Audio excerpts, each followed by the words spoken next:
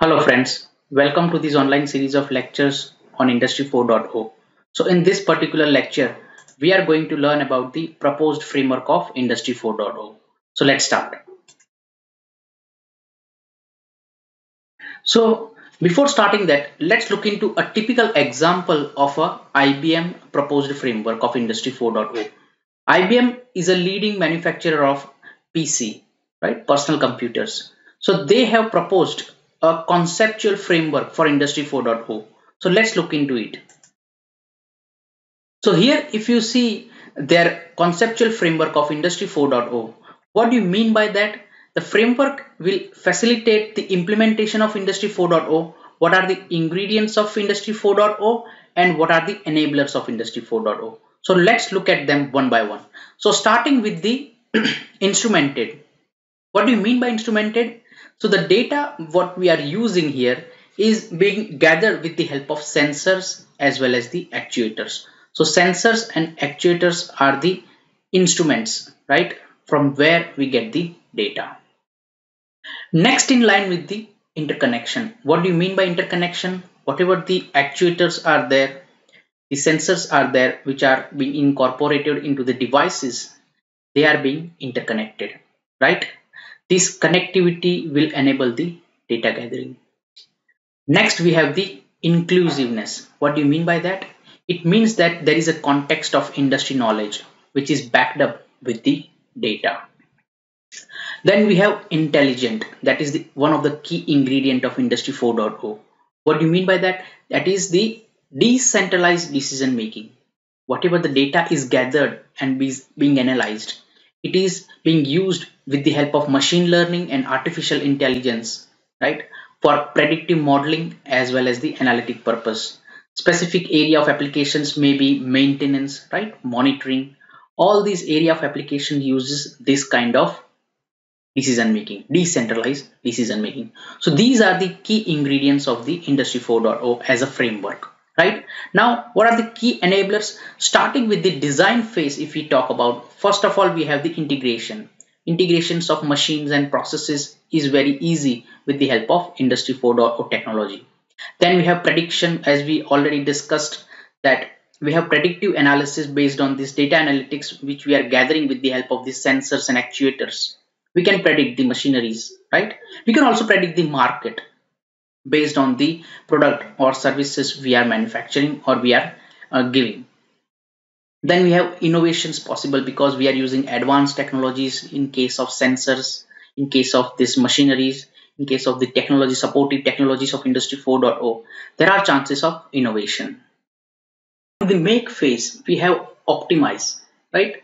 Optimize means we these machineries and processes can self optimize whatever the criterias are given for the manufacturing, these machines can self-optimize based on the parameters given to them, right? In fulfill whatever the customer's demands are there, uh, whatever their fulfillment uh, uh, criteria are there, these uh, criteria can be fulfilled with the help of customization, mass customization of these machineries, right? Then we have extensions. Extensions mean the, means extending the intelligence of the machines machines they are pre-built with this uh, machine intelligence. You can say or you can say the machine learning artificial intelligence all these are incorporated into these machineries. And when now the future machineries that they are coming up with this kind of uh, capabilities these are definitely the extensions for the industry 4.0 then you have employ now based on this skill uh, development and the requirement for this industry 4.0 we have varied uh, employment or you can see the employees that are needed for this industry 4.0 so ranging from this data scientist here it is written that application development you have data scientist right? And the network engineers are there. All these uh, employees or you can say this skill uh, developers these are needed for this industry 4.0 then you have in use case we have satisfied um, basically what it means that whatever the market demand is that the customers uh, demand is that you are satisfying based on this customization with the help of these advanced sensors technologies advanced robotics uh, supportive technologies. You are fulfilling the demand of the customers. You are satisfying whatever the customer is demanding through this flexible machinics then you have the safety. Since you are using the robotics right autonomous uh, robotics advanced robotics you are creating a self uh, safe environment right? For the workers as well as for the customers who are who will be using these kind of technologies right? So that is a very good uh, feature of the industry 4.0 then you have sensory. Sensory in the sense that the touch for example different senses like say here it is written that voice for example auditory uh, sensing right? Sights like machine vision for example haptic touch um, feedback if you are uh, if you are taking. For example if you have a robot which is assembling the uh, machinery or you can say the uh, different parts for that you need this kind of advanced sensing in the form of haptic uh, touch. Then you have the movement uh, let's say for example uh, if you want to move the raw material from one place to another place you will use these kind of crane cranes. Or these robots uh, specifically for example agvs automated guided vehicles. So these are some of the key ingredients and enablers of industry 4.0 so next let's look into the impact of the design principles. We already discussed the design principles. Here and the top row if you see these the key design principles this comprehensive list of design principles is given. Now what does this chart uh, suggest is that there is a concurrence of design principles as well as the supportive technologies on the first column which is shown right?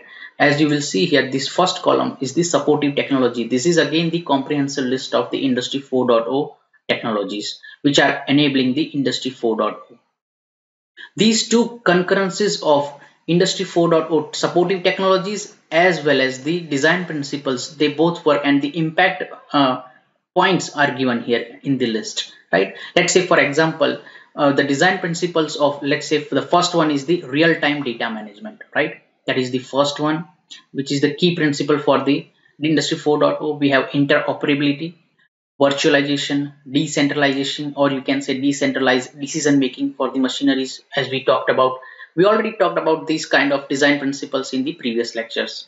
We have agility, right? Fast and uh, accurate response from these autonomous uh, vehicles or you can say robots. We have service orientations. Whatever the services are being required, you orient that uh, kind of the uh, machineries and processes. You have the integrated business processes. All the processes, businesses, uh, business processes are there. They are integrated with the help of the computing technologies right so here for example if you see here adaptive robotics is there as a supportive technology it uses the agility right? As as a as a design principle the major impact is the agility. For example if you have the data analytics and artificial intelligence you have decentralized uh, decision making is also there. You have agility right? As well as the service orientation. So in this way you have if you see here this chart suggests the concurrence of the design principles as well as the supportive technologies. This will enable the industry framework, right? Whatever the proposed framework is there in the next slide we will be discussing, this is definitely going to help in proposing the framework. So let's talk about the proposed framework of Industry 4.0. What can be the framework uh, to implement Industry 4.0? So what is the key goal of a company? Let's say for a typical company, they want to manufacture smart products or they want to deliver smart services, right? So starting with the data collections, what the companies are doing, they're integrating uh, the sensors and actuators so that they can collect the data. That is the first peculiarity, right? Second is once the data is collected, they process the data, right? Then you have the data management once it is collected right then it is processed and then it is managed right whatever the data is there it is wrangled right it is stored and storage is done for the data analytics. Further analysis of data is possible through the cloud computing. So we will discuss that as well. So talking about data collections how do you achieve that? Through the connectivity only right? Whatever the data is collected as we already see in the previous slides the advanced sensing technologies as well as the actuators what they enable is they try to uh, help us in collecting the data from the shop floor activities, right? So what are these technologies available right now? First of all, sensors are there. Uh, very advanced sensors are available right now. MEMS, for example, micro electromechanical sensors are available right now. RFID, radio frequency identifications devices are also available, right? For example, FASTag, if you have if you have heard of, right, at the toll taxes uh, for collecting the toll taxes, it is already available in the market. Then you have RTLS, real-time location system, uh, based on the GPS available, right? It is also available on the uh, nowadays in the mobile phones as well. You have XR. XR is the extended reality. In the umbrella term of XR, we have augmented reality, virtual reality, as well as this mixed reality, right? We will discuss these uh, technologies in detail in the further lectures, right? Also, we have the 5G technology, mobile technology we have already introduced in India, right? So these are some of the technologies for the connectivity purposes. Next, we have the cloud systems. Cloud systems we already uh, discussed in the previous lectures where we have three major players, Amazon, Microsoft, right, and Google, which are providing the third party uh, as a third party for the manufacturer to store their data, manufacturing data, for example, operations data, and they also provide the analytics uh, platform as well, right? So here, if you see the data analytics and cloud system, they are integrated, right? excuse me then you have design principles as we discussed in the previous slide the design principles such as the real-time data monitoring data processing is there interoperability is there information transparency is there these kind of principles are also useful for the framework of the industry 4.0 these are the building blocks of the industry 4.0 implementation then we have the supporting technologies. Whatever the technologies we discussed, the pillars of Industry 4.0, for example, simulation is there, IoT is there, right? Augmented reality is there. These are the supporting technology which help in building up the Industry 4.0 framework. So this is the overall framework of the Industry 4.0. Now enabling technologies of Industry 4.0 is done through integration now, if you talk about cloud system and data analytics, they are integrated into the day-to-day -day business processes, right? Then you also have the communication. All these devices, all these manufacturing equipments, right? The processes, they communicate with each other. You can say M2M communication, machine to machine communication is available with the help of this uh, integration as well as the communication protocols and standards which are laid by the some of the companies which are implementing the industry 4.0 then you have cybersecurity. Now here we are dealing with data, right? Data transfer, data management, cloud computing. So it is only uh, enabled if you have a secured platform. If you have secured platform, then you can easily conduct the day-to-day -day operations, right? This is enabled with the help of cyber security. Otherwise, a huge amount of money, as we have seen in the previous slides and previous lectures, huge amount of money is lost due to hacking of these secure networks. So security uh, specifically of these data networks is a necessity, right?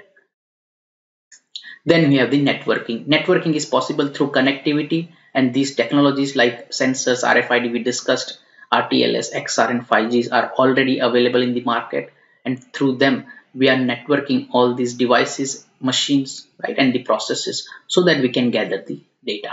So overall, if we talk about the proposed framework of Industry 4.0, these are some of the key ingredients or you can say the key aspects we focus on. Specifically connectivity, cloud system, right, where you uh, store your data, right. Then you have design principles, we have supporting technologies. Design principles we discussed uh, four major ones from trans uh, interoperability, right these are some of the key uh, design principles which we are focused on when we are implementing the Industry 4.0. Then you have supporting technology, almost nine of them. Major ones we discussed M2M technologies, there IoT is there, right? Cloud computing, big data, autonomous robotics are there. So all of these ingredients comprises of the framework, general framework of Industry 4.0. And some of the key uh, aspects of the day-to-day -day operations starting from the collections, analysis, right, management as well as processing is enabled through cloud computing, clear, networking and communication technology. So this is whole framework of Industry 4.0. It is not the standard one, but it operates on similar fashion, but you can say that if you want to implement Industry 4.0, you start with this kind of framework. So that's all from today's lecture. In this lecture, we have discussed the framework. What is the framework of Industry 4.0? What is it used for? We, we started with IBM framework, right? Where IBM is a leading PC manufacturer, you know, which is a leading company in the PC technology. Right? They have also uh, proposed a framework, and we also discussed uh, one of the reference books uh, framework so how do you implement through some of the key technologies as well as the ingredients? You combine them to get the framework of the industry 4.0 and this framework will be useful when you are implementing as a company when you are implementing the industry 4.0. So in next lecture, we will be discussing about the technology roadmap of industry 4.0. Till then, thank you.